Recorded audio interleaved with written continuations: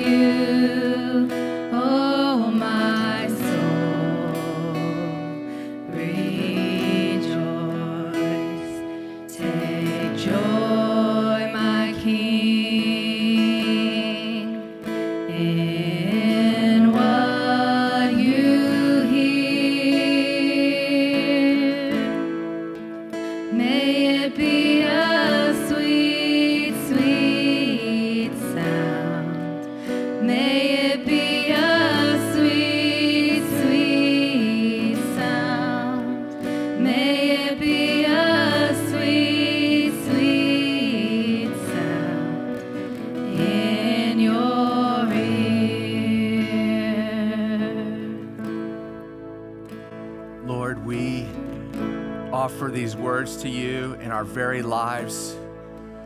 Lord, to you, Lord, the desire of our heart, Lord, is to live sincere, devoted, committed lives to you. And Lord, as we worship you, Lord, I, I ask that, Lord, you would help us. Lord, help us to love you and to serve you like you love us and how you have served us. Lord, with all of your heart. Lord, we want to be a people that are all in. We want to be a people that are fully devoted, fully given to you. That, Lord, there'd be no area of our lives that is held back, that we keep you out of, but that, Lord, you would have full access to who we are as your people. Lord, it says that this is our acceptable act of worship. Lord, is to present our lives as a living sacrifice to you. Lord, we live, Lord, to bring honor to you. Lord, may the life of Jesus shine through our lives. Lord, may the words of Jesus come out of our mouths, Lord, to our neighbors and our community members. May the love of God, Lord, emanate from our lives as we put you first. Lord, as we look to you, as we behold you, Lord, would you change us in a greater way? Make us more like Jesus. Make us more like you.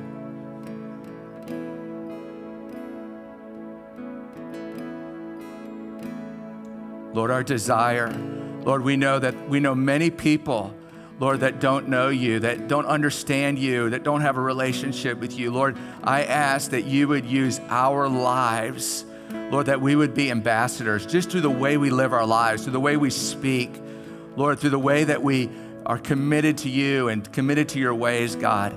Lord, I, I pray that, Lord, our friends, our family members, our coworkers, Lord, would be provoked, that they would look at our lives and they would see you, not us, they would see you, Lord, working in our lives. And that, God, you would have your way, that you would reach people even through our lives, Lord. In Jesus' name. Amen. Beautiful day. Oh man. I love it. I love it. It's so it's so good. I, am just enjoying the fall. We're having a good fall. And uh, is there such thing as a good fall? Is there? Yeah. There's no snow yet. Yeah, they're not here at least. Not at this elevation. Anyway, yeah, there's some snow up in the pass, I'm sure, but we love it. It's beautiful. Well, guys, uh, just a couple things real quick before we get into the message and receive our offering.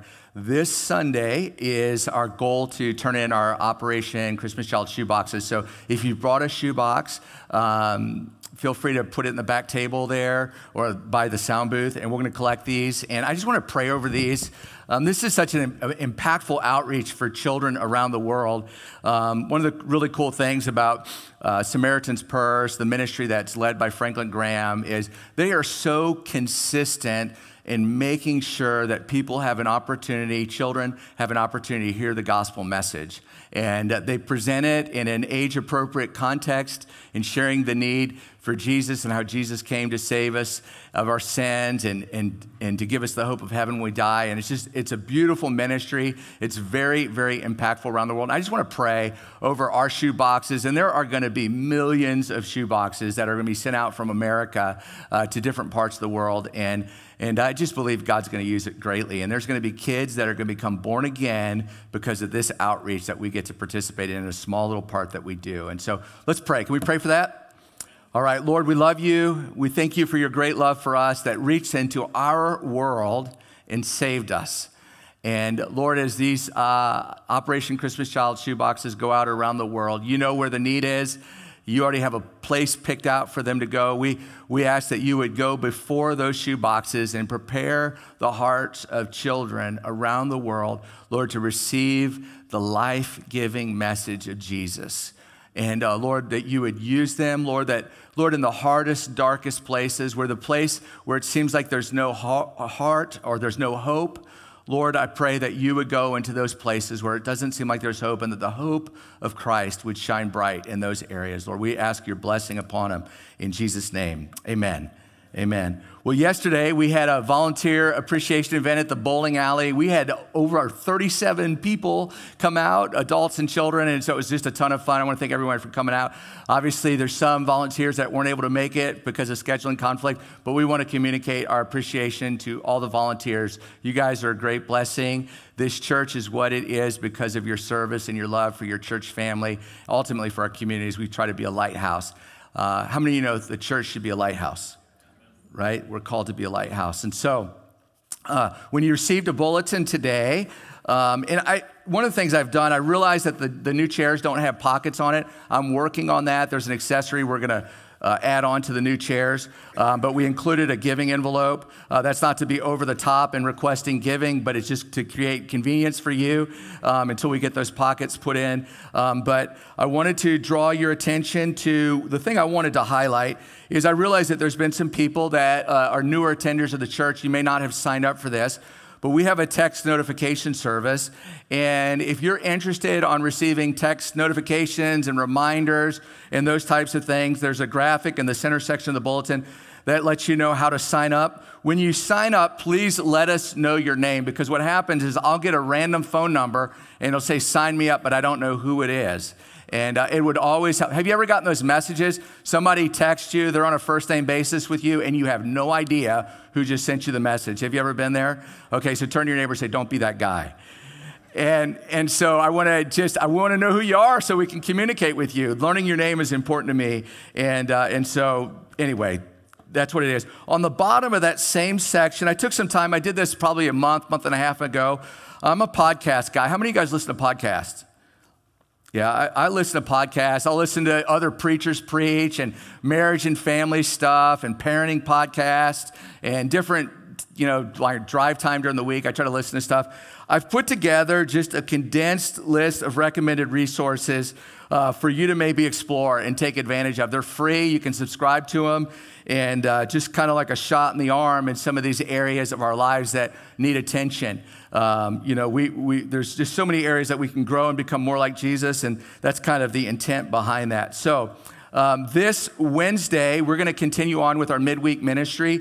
Um, we have youth group Wednesday night at 6:30, and then the adults. We will be finishing up the book of Romans. We have been on a long journey through the book of Romans, and uh, I've decided we're going to end Romans this week, and so we're going to cover the last few chapters of the book. It's going to be a great time before we launch into our next study.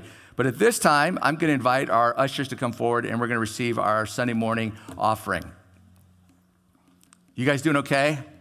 You're a little quiet this morning. You guys are like, don't do that to me.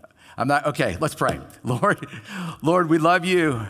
You're so good to us. You're such a good provider, and uh, so many things that we can look at and see areas of our life where you've cared for us. And, and uh, from the salmon that we catch in the summer to the berries that we harvest to the groceries that we get at the grocery store.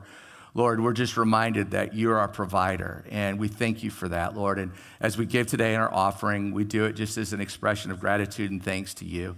In Jesus' name, amen. God bless you as you give today. And while the, uh, the uh, offering plate's being passed by, I want to encourage you to open your Bibles to Matthew chapter 8. Matthew chapter 8.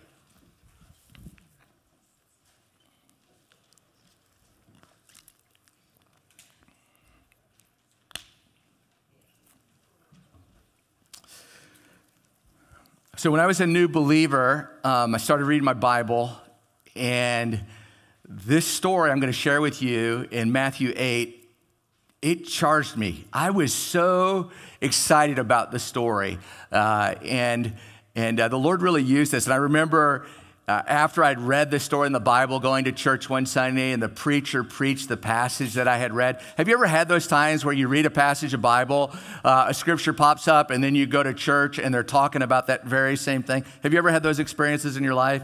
And you're kind of like, okay, God, I, I think you're speaking. I'm listening. I've heard this like two, three times, and it would be so funny because sometimes I would get out of church and I would uh, turn on the radio, and we were, I was a part of a charismatic Pentecostal church, and we believed in the gifts of the Spirit. And then I would turn on the Baptist guy, who was I viewed as being a little bit more conservative, and he would be preaching the same passage that I just heard. And I just thought, you know what? God's still speaking. He can speak through all different forms and church denominations and stuff like that. It was just encouraging to me. But let's look at Matthew chapter 8, beginning at verse 5. It says this And when Jesus entered Capernaum, a centurion came to him, imploring him, and saying, Lord, my servant is lying paralyzed at home, fearfully tormented. And Jesus said to him, I will come and heal him. Don't you love that? When Jesus hears a need, he's moved to action. He says, I want to respond the Bible says that if we cast our cares on the Lord, He's going to take care of us, He'll sustain us. One of, the, one of the secrets, I believe, of David's life in the Old Testament that needs to be a secret of our life is that we learn how to share our needs with the Lord because He cares for us. He cares deeply for us. God cares more about you than you care about yourself. Think about it. Do you believe that God is committed to your best interest and your well being? I'm convinced of it. So much so, when I start to not love myself well, or I don't take care of myself well, or I allow garbage in my heart, so to speak, the Lord will address that in my life, not because He's mad at me, but because He loves me. He's like, Scott, I've got better for you than that. Why don't you forgive? Why don't you let go of that? Or whatever it is. In this case, the centurion, who was part of the Roman occupation, the occupiers of Israel at that time, he sent a servant. He, he, he, he, came to Jesus and he said, um, he said, I have a, a, a servant that's lying paralyzed at home and he's fearfully tormented. And Jesus said to him, I will come and heal him. But the centurion said, Lord, I am not worthy for you to come under my roof, but just say the word, and my servant will be healed. For I also am a man under authority with soldiers under me. And I say to this one, Go, and he goes. And to another, Come, and he comes. And to my slave, Do this, and he does this. Verse 10. Now, when Jesus heard this, he marveled and said to those who were following, Truly I say to you, I have not found such great faith with anyone in Israel. I say to you that many will come from the east and the west and recline at the table of Abraham, Isaac, and Jacob in the kingdom of heaven. But the sons of the kingdom will be cast out into the outer darkness. In that place, there will be weeping and gnashing of teeth. And Jesus said to the centurion, Go, it shall be done for you as you have believed. And the servant was healed that very moment. How many of you are familiar with this story I just read? Great story. I love that the centurion, when he comes to Jesus, the, see, the centurion has this understanding that Jesus is a man of authority. The religious leaders struggled with Jesus' authority because Jesus was saying and doing things, and, and, and the way he, he was teaching and the way he was ministering to people, it was clear that he had authority from heaven. And the centurion recognized Jesus was a man of authority. And he said to Jesus, He said, just say the word. Turn to your neighbor and say, just say the word. And, and to me, it's, it's interesting when I, when I think about this. The centurion, he recognized who he was next to Jesus. He recognized that Jesus had authority from God. He, he maybe at this point recognized that Jesus was God. But whatever it was, he knew that Jesus had the ability to do something about his servant's condition, whom he cared for. And so he came to Jesus and he said, Just say the word. And the Lord, uh, uh initially, he was just willing to go. He was going to go, maybe lay hands on him. Jesus was already postured that way. He says, You don't need to do that. I'm really not worthy. I know who I am compared to you. I'm not worthy for you to come under my roof, but because of the authority that rests on you, would you just say the word and my servant will be healed? This blows Jesus' mind. You know, that's pretty impressive to blow God's mind, right? When he sees that level of faith in action, that level of understanding and revelation that's working in a person's life, it moved Jesus that he made this statement. You know, when I was preparing the message today, and that last little part that I talked about, um, where it talked about the place of weeping and gnashing of teeth and all that, I almost left that out in my message, and I felt like, no, I'm gonna, I'm gonna share some difficult scripture. I wanna share it's good to, and easy to read the parts of the Bible that make us feel good and loved and warm and cozy. But what about the verses of the Bible that challenge us sometimes? What about those places that make us a little uncomfortable and like you're like, ooh, that's kind of tough what you just said? But what Jesus was making a point of is there's a, a, an understanding that worked in the centurion that he desired would work in all of his people. And it would be a recognition of God's authority that rests on the life of Jesus. Jesus is fully God and he's fully man. As fully God, he has the ability to speak and things happen. You guys, I don't know how many of the older generation here, older than me or my age, you remember the old E.F. Hutton commercials? Do you remember the E.F. What was the, the tagline for the E.F. Hutton commercial? When E.F. Hutton speaks, people listen, right? Oh, that when the Lord speaks, we would listen, right? When we, we hear God speak, we would listen to what the Lord's saying. But, but even if we don't listen, it doesn't nullify the fact that God has authority to speak into our situation and change the outcome of what's going on. Many times I'm convinced that the place of prayer is, is for us as Christians is coming into this place where we surrender to God. We wrestle in prayer. Jesus wrestled in prayer. We read about this in the Garden of Gethsemane. But this place of saying, God, I, have got this issue, I've got this need, but your will be done. And just living our lives in a place of surrender to the Lordship of Jesus in our lives. Colossians 1:16 says this, "For by him all things were created, both in the heavens and on the earth, visible and invisible." I love that Colossians highlights the invisible. You guys, there are things that we don't see, but they still exist. Things that we don't perceive, things that we don't fully understand, but it doesn't mean they're not real. It says this For by him all things were created, both in the heavens and on the earth, visible and invisible, whether thrones or dominions or rulers or authorities. But all things have been created through him and for him. God's our Redeemer. He wants to work through even the systems of this world and redeem them ultimately to bring glory and honor to Jesus in and through our lives in the world that we live in. In Hebrews chapter 1, beginning in verse 1, it says this God, after he spoke long ago to the fathers and the prophets in many portions and in many ways, in these last days has spoken to us in his Son, whom he appointed heir of all things, through whom also he made the world. He is the radiance of, the, of his glory, the exact representation of his nature. Do you remember Jesus in his conversation with one of the disciples, Philip? Philip said, Show us the Father. Do you guys remember that passage? And, and Jesus responds to Philip. He says, Philip, don't you know me? You've been with me so long. If you've seen me, you've seen the Father. The Father and I are one. He's talking about the unity that exists, that's present in the Godhead, and also the authority that goes along with that, the, the authority that God has. In these last days, he's spoken to us in his Son, whom he appointed heir of all things, through whom also he made the world. And he is the radiance of his glory the exact representation of his nature, and he upholds all things by the power or by the word of his power. Jesus upholds all things by the word of his power. Theologians say, uh, some theologians say this that Moses, when he was 120 years old, he died.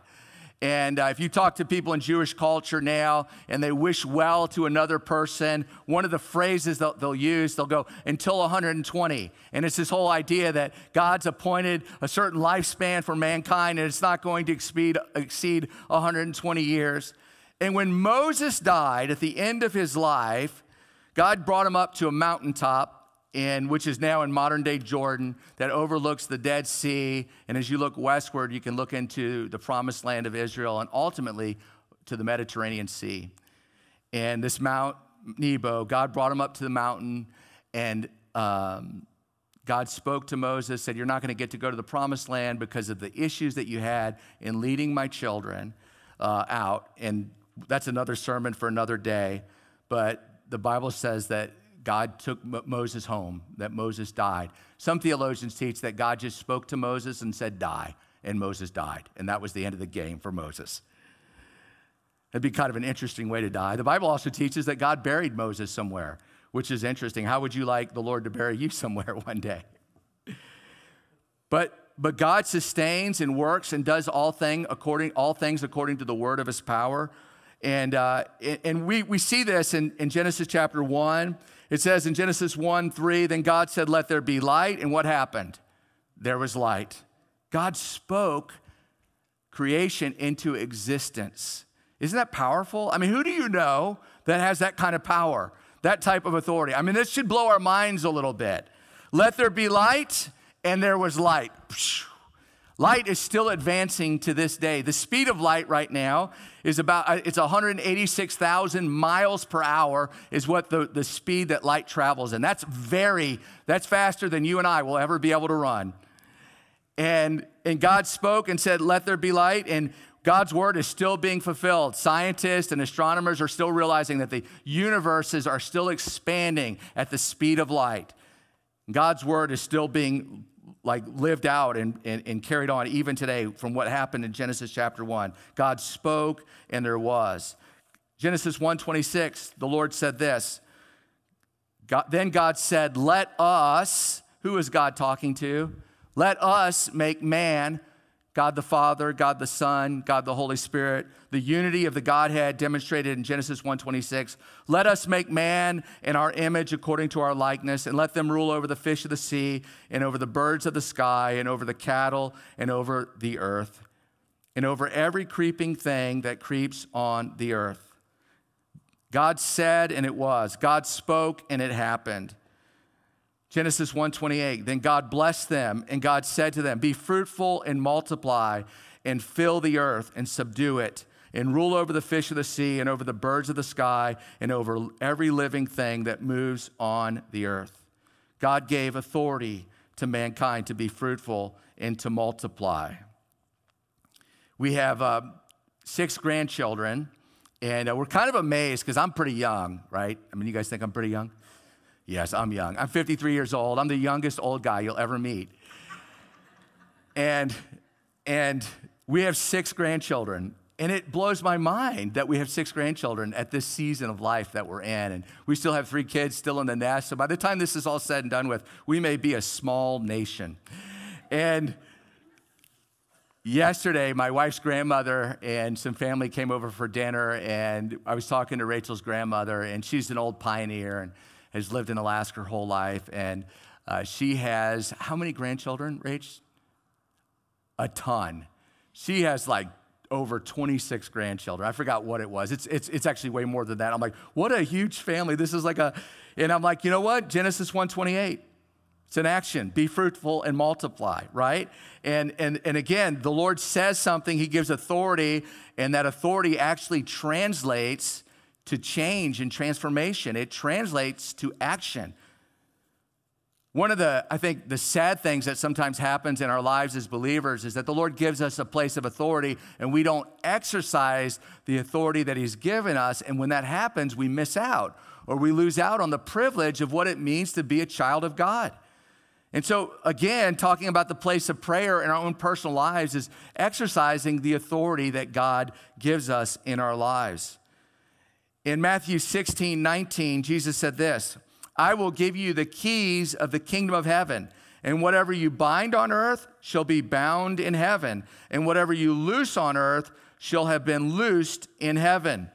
This is a this is a, central part of the gospel message that's important for you and I to understand. Jesus was communicating in Matthew 16, that passage I just read, to his disciples, I am giving you delegated authority. You have authority to act and conduct yourself in a certain way that's going to either advance or stymie the work of God in and through your life. I will give you the keys of the kingdom, he says. Whatever you bind on earth will have been bound in heaven. Whatever you loose on earth shall have been loosed in heaven. This is a real shift that we need to understand as believers that we have authority that has been delegated to us. How many of you guys are good at asking other people to help you, or you're good at delegating to other people? There's like two of us. The rest of us, you've gotten yourself in trouble because you didn't want to ask for help and maybe it didn't turn out as well as it could have turned out, right? How many of you need help asking for help? I appreciate the humility in the room. And and and the Lord, I, I, you know, it's amazing some of the stuff that God entrusts us to, to us. I would say it that way. Um, you know, I, if I were the Lord, I and I'm not, I don't know if I would do it the way He trusts people like with a lot of authority. He's delegated a lot of authority to mankind. He's delegated a lot of authority to His church. And, and, and you gotta, gotta ask the question, why? God, why have you given us this authority? Why have you delegated? And, and scripture is clear that the, the pattern of the New Testament, even in the Old Testament, when Adam and Eve named the animals in the garden, when Adam named the animals, it's this idea that God gives delegated authority, and his desire is for us to be in this place of, of, of working in partnership with God, the way that we live our lives. Scripture, I don't have this passage in my notes today, but it says that we're co heirs with Christ, we're co laborers. We work with the Lord, that God has a plan and a purpose for our lives. And so he gives us delegated authority. Again, in Matthew 18 18, he says this He's driving home the point. Truly, I say to you, Jesus is speaking a reminder of what he had said in Matthew 16. Just a couple of chapters later, he says, Truly I say to you, whatever you bind on earth shall have been bound in heaven, and whatever you loose on earth shall be loosed in heaven. What does that mean? What does that mean? That what we bind is bound and what we loose is, is loosed?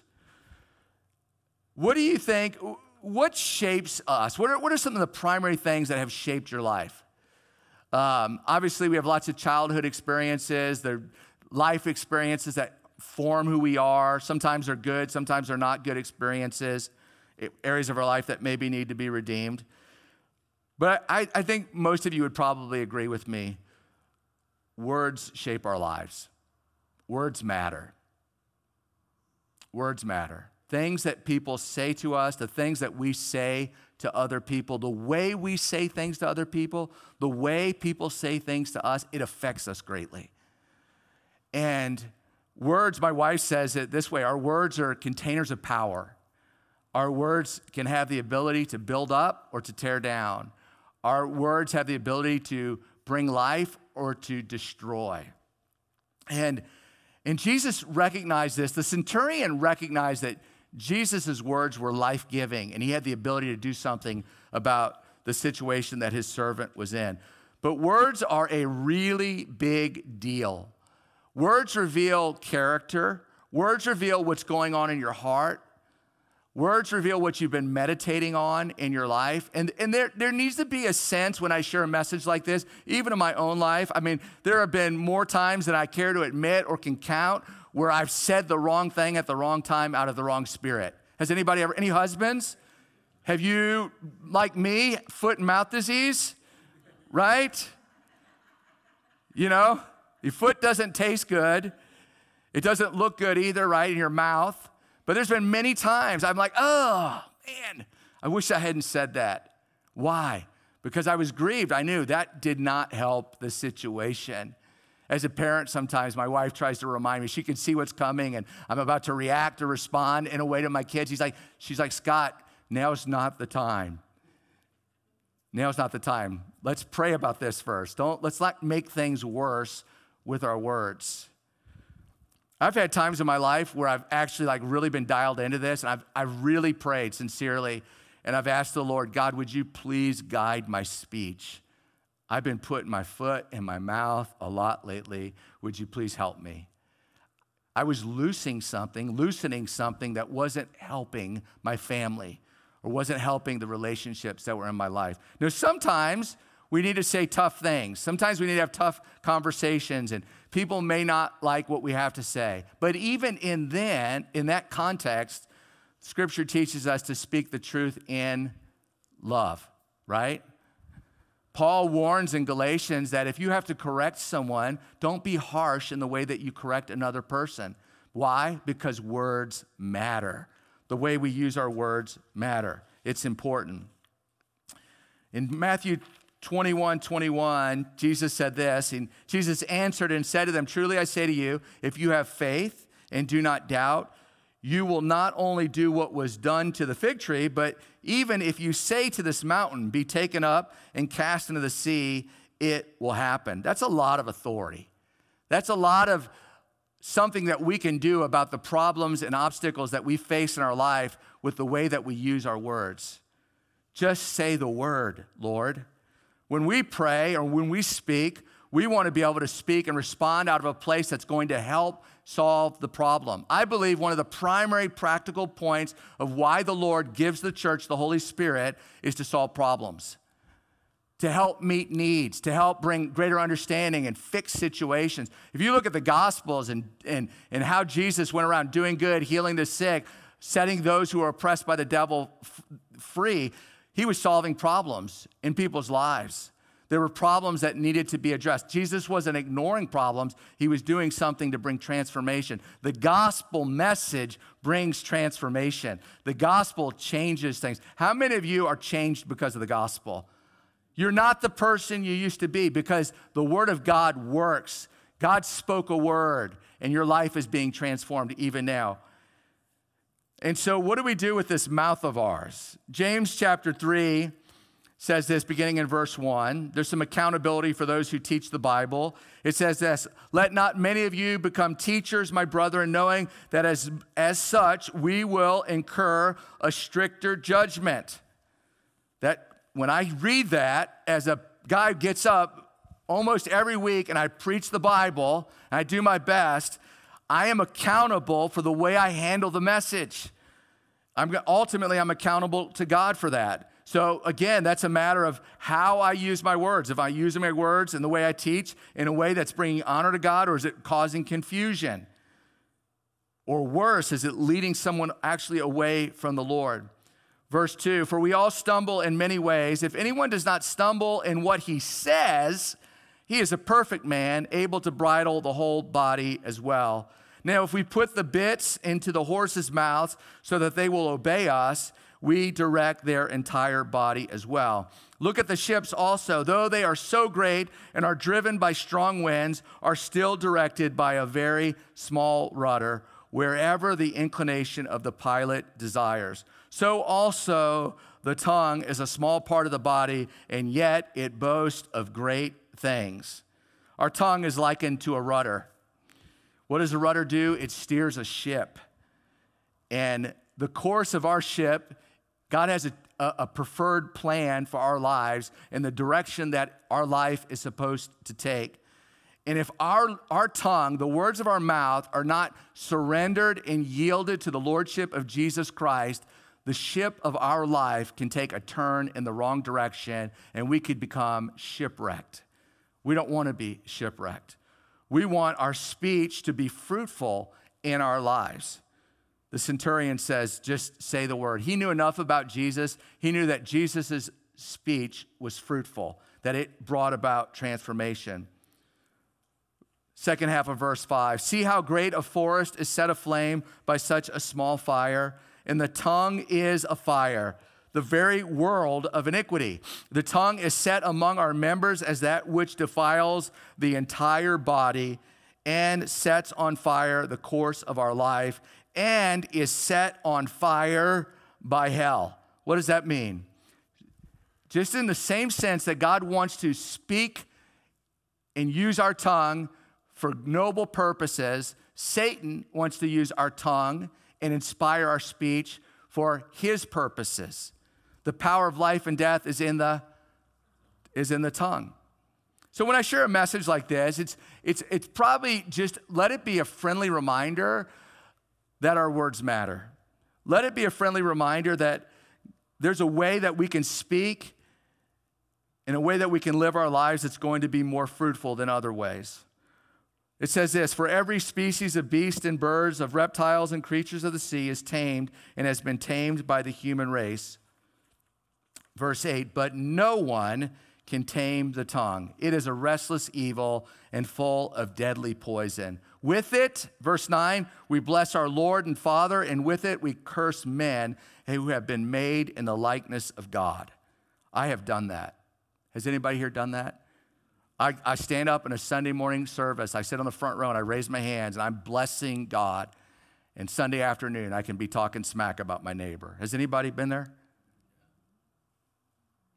Does this not, when we read these passages, doesn't this put you like a little bit like, ugh, I need to be careful in what I say? Even as we go into this political season, let's remember we're accountable to God for our words and the way that we speak. From the same mouth come both blessing and cursing. My brethren, these things ought not to be this way. Does a fountain send out from the same opening both fresh and bitter water? Can a fig tree, my brethren, produce olives or a vine, tree, vine produce figs? Nor can salt water produce fresh. Proverbs 18 21. Death and life are in the power of the tongue, and those who love it will eat its fruit. You guys, there's a benefit, I believe, that the Lord wants us to experience in our lives through our confession, through the way that we speak, the way that we use our words. Do we use our words to bless or do we use our words to curse? And the Bible says those who love it, who understand, who have this revelation that the power of life and death are in the tongue, those who love it will eat its fruit. The benefit, I, the last couple days I haven't been feeling well. I was in church last night praying just before the service, and I'm like, Lord, there is no reason for me to be sick right now. It doesn't make sense. I don't have time for this. I, how many of you you turn into a big baby when you get sick? Anybody? yes, I've, I've, me too, Noah. I'm with you. And and I'm like, and I'm just like, and I'm I'm like, I don't want to be sick. I don't want to be sick, and I'm gonna do whatever I can so I don't have to be sick anymore. So I'm taking vitamin C and I'm drinking plenty of water and doing all the stuff that I should do. And then, and I just was praying and I'm like, I'm in the name of Jesus. I'm rebuking the sickness. I'm using the word that, words that God gave me. I'm just, it's a little bug. I'm not dying, don't worry. But, and, and, and just those things. And last night I went back to the house after I prayed here in the sanctuary for a little bit and I was getting ready for bed. And I said, Rachel, can we pray? And we just prayed over one another last night. And, uh, and I took my medicine, I took my Advil or whatever it was I took, Theraflu, whatever. And then I got up this morning, and after a couple of days of not feeling good, I felt better this morning. And I thought, the power of life and death is in the tongue. Sometimes we tolerate things in our life unnecessarily, and we just don't do anything about it when we have authority to do something about it. God, I believe God still heals people today. Does anybody believe that? I believe. I, now, I know when I say stuff like that, sometimes the tendency of our mind is, well, what about this person? Or what about this situation? And I don't have the answer. And I'm not going to try to give you an answer to something that I can't explain. I do know that I have the Bible, and I know that God says He watches over His word to perform it. And so I'm going to stand on God's word. I would rather die in a place of faith and trusting and believing God than not have faith at all. And that's important for us. The early church got a revelation of this and they understood that they too could speak the word. They had spent time with Jesus and they understood that Jesus had given them delegated authority and that when opportunity presented itself and the need arose, that they exercised the authority that God had given them to speak the word. In Acts chapter 3 verse 6 says after the day of Pentecost, but Peter said, "I do not possess silver and gold, but what I do have, I give to you. In the name of Jesus Christ the Nazarene, walk. The rest of that story is that a man who had been lame got up and walked. He understood, Peter understood that he had authority and he began to step out and exercise that authority, and he saw the fruit of it and he enjoyed it. It's good when God answers prayer. I think sometimes we, you know, how many of you grew up in church culture? Sunday night was like testimony night at church. Do you remember that? And the pastor would take a risk and he would open up the microphone to the congregation and people would come up and share stories. And somebody inevitably would come up and try to preach, and the pastor would be like, This is not what this is about. But if God's done something in your life, would you want to give him glory and share your testimony as a means of encouraging other people? And when we hear that, it provokes us, it stirs us. Well, God did that for them. Maybe he'll do that for me too or whatever, whatever it may be. In Psalm 19, 14, it says this Let the words of my mouth and the meditation of my heart be acceptable in your sight, O Lord, my rock and my redeemer. I think it's so easy to read through these passages in the Bible and not take time to just park there and even pray the scripture as we look at this. When I'm struggling, and I know there's a struggle inside of me at times, and I realize Satan is trying to win right now. He's trying to get me, he's trying to get my goat in this situation. I'll go back to Psalm 19. Lord, you know what's, what's stirring on the inside of me right now, but I want to resubmit what's going on in my internal life to your lordship. And I want the words of my mouth, and I, even more importantly than the words of my mouth, it's what's going on in my heart. I want the meditation of my heart to be acceptable in your sight. Knowing that God knows what I'm thinking about, knowing that God knows and sees what I'm meditating on, sobers me. It kind of helps me. The Bible says that the fear of the Lord is the starting point, it's the beginning of wisdom. If you don't have the fear of the Lord working in your life, you're not walking in wisdom. But if the fear of the Lord operates in your life and you realize God sees everything, He knows everything, and I am accountable to God for the way that I live my life, it will curb some of our bad habits. How many of you have bad habits that need to be curbed in your life, right? And, and, so the fear of the Lord teaches us to say no to ungodliness, even in our speaking, in the words that we say. Do not give yourself permission to say, I can go ahead and use my mouth in an inappropriate way and it's all covered by God's grace. That is taking the grace of God in vain in your life.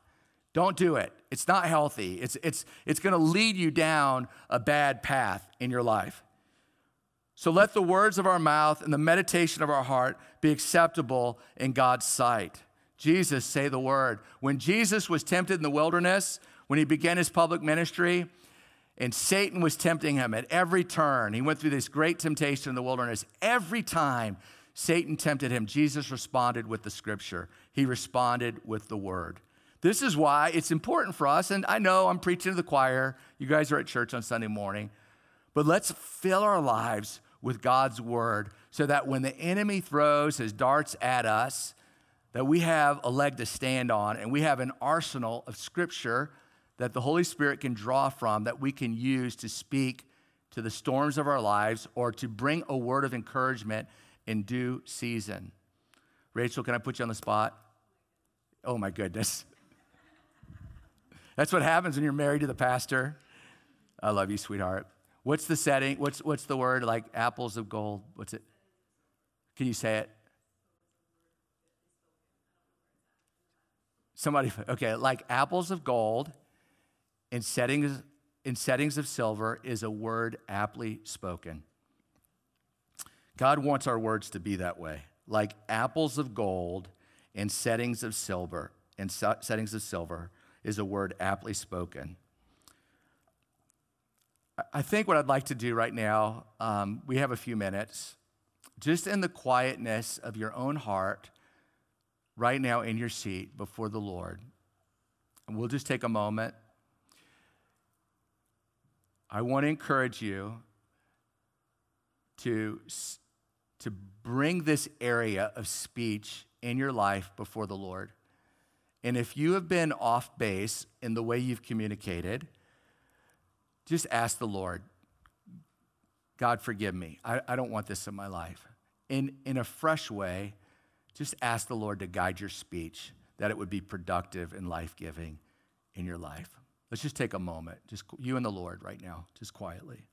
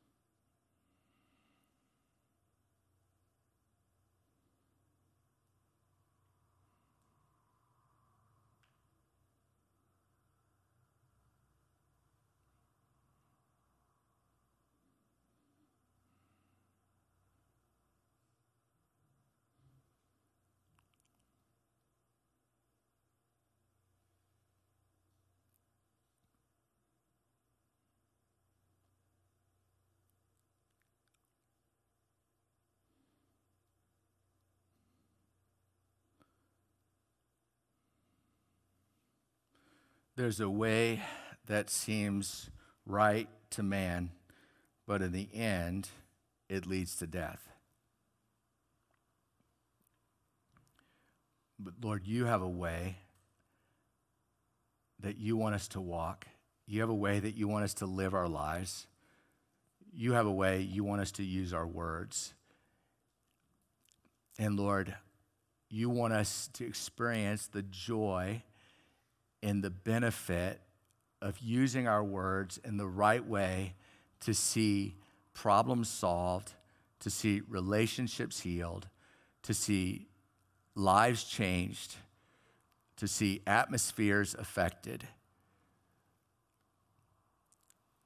Lord, I ask that you would help all of us to understand that you have called us and created us to be a conduit that you work through in our world. You called us the salt of the earth. We want to be the salt of the earth. Lord, to our coworkers, our family members, Lord, we want to be the salt of the earth. Lord, we want to represent you well. And so, Lord, as the psalmist prayed, we pray and we ask you that the words of our mouth and the meditation of our heart would be acceptable in your sight.